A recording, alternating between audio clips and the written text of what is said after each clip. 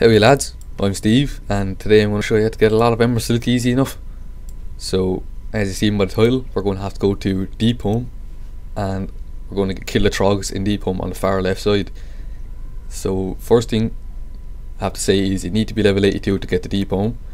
The portal is in Stormwind over here on the map and my preferences will be to get as much bag space as possible, get a potion of treasure finding and to have at least 400 tailoring to help get the most out of your hour because treasure finding helps you get little tiny treasure chests which drop about 5 gold each and have a fairly high percentage of cloth drops and greens and other stuff.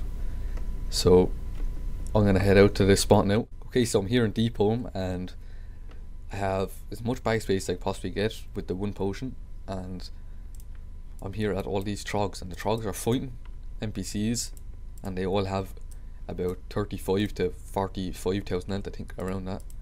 And what you're going to do is just kill them all with your potion drink your potion starting off. You have 60 minutes on that and then what you're going to do is just go around killing them all as fast as you can. But uh, I tried this on Ret Paladin, Prot Paladin, Feral Druid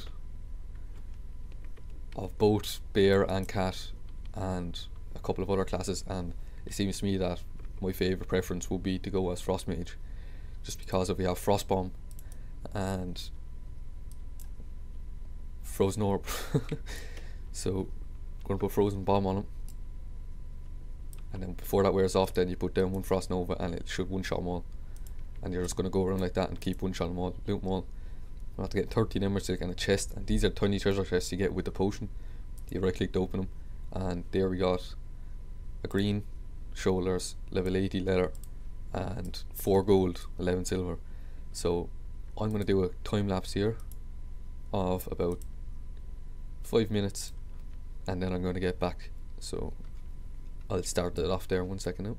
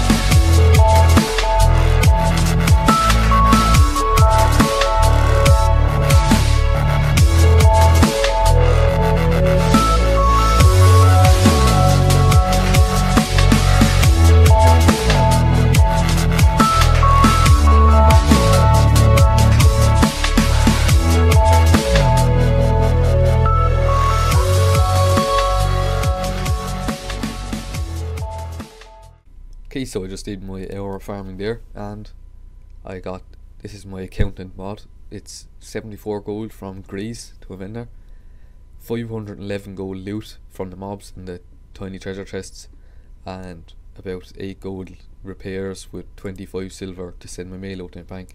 So I'm going to log on to my bank now and give you a tally of how much I have altogether. Just finished up on my mage and came out with my bank character here and I put it all in the guild bank. So it's 958 Embersilk and 26 greens and some various other things here. So the 26 greens if I sell for 50 gold each they will amount to 1300 gold. All the Embersilk together will equal to about 2010 gold and the various other items will equal to 216 gold for a total of about 3,575 gold, roughly, on my server. So you can get about 3,700 or 3,570 gold an hour easily enough down there with a one potion, a tailor, and a level 85 plus character. So I'll leave the I'll leave the website where I got the farming place in the description so you can click on that and go onto the website. There's plenty of other farm places and I'll be making more farmer videos so subscribe. See you next time.